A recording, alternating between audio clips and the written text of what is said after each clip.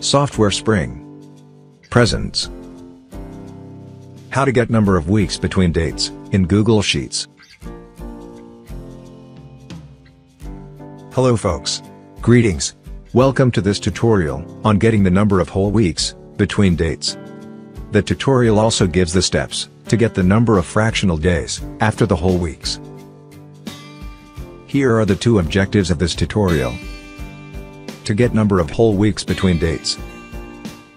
To get number of fractional days, after whole weeks. Let's look at the steps to get the whole weeks. Use days function, to get number of days between dates. Here's the format of the days function formula. Divide number of days by 7, to get number of weeks between dates. Use round down function, to round down result of division, to get whole weeks. Let's look at the format of the round down function formula. Please review the separate tutorials on days and round down functions, if you have not already reviewed them. The links to these tutorials are given in the description. Moving forward, we are all set to get the number of whole weeks. Let's input a start and end date. Type these dates, in the mm slash dd slash yy format.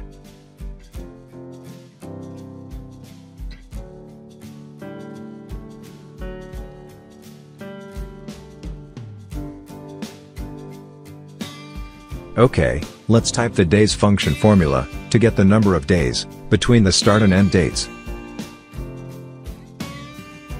First, type the equal to symbol, DA, and select days.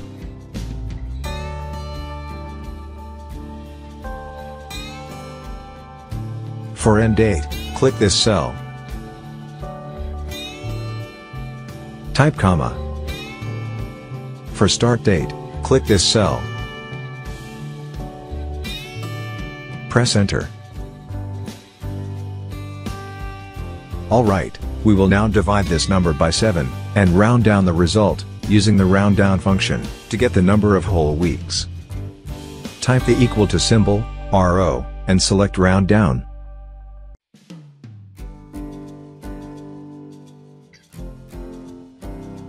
For value, click this cell. Type the division operator. Type 7. Press enter. OK, we have got the number of whole weeks.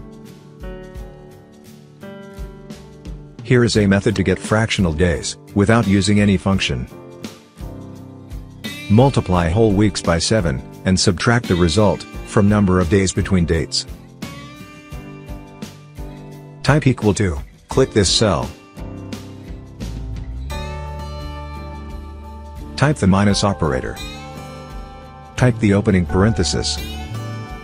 Click this cell. Type the multiplication operator. Type 7. Type the closing parenthesis. Press enter. There you go. This is the number of fractional days. Another way to get fractional days, is to use the mod function, to get the remainder, of dividing number of days by 7.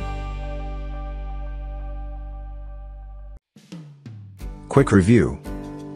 Steps to get number of whole weeks. Use days function, to get number of days between dates. Divide number of days by 7, to get number of weeks between dates.